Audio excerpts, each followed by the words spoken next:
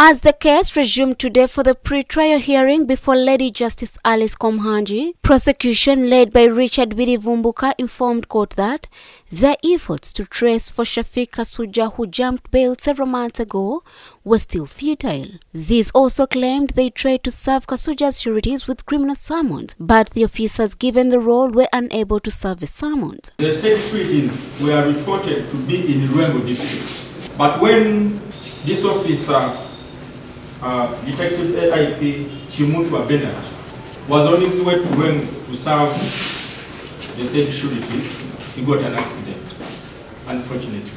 Consequently, the presiding judge Alice Komuhangi renewed the criminal summons against the three sureties. The matter was adjourned to the 23rd when court will decide on whether to proceed with trial in the absence of the accused number 8, Shafiq Kasuja. Today we were supposed to proceed with our hearing or what we call the pre-hearing.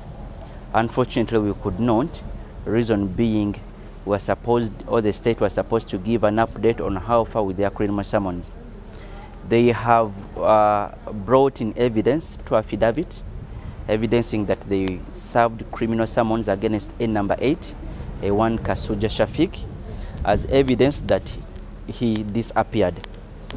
We didn't have an objection because we also notified the police about his disappearances. Kaweesi was shot dead on March 17th in 2017 together with his bodyguard Kenneth Erau and driver Geoffrey Mambewa. Eight suspects were arrested and charged with murder, aggravated robbery, terrorism, aiding and abetting terrorism, and belonging to a terrorist organization, the Allied Democratic Forces. These are Abdurrashid Mbazira, Hamza Higeni, Shafiq Kasuja, Yusuf Mugerwa, Bruhan Balyejusa, Joshua Kyambadde, Jibril Kalyango, and Yusuf Nyanzi. Prosecution already presented before the court and shared with the defense team all evidence and exhibits they intend to rely on to prosecute the accused persons. The exhibits included documentary evidence of statements from the accused persons made at different police stations, witness statements from police officers, and those that were seen by both parties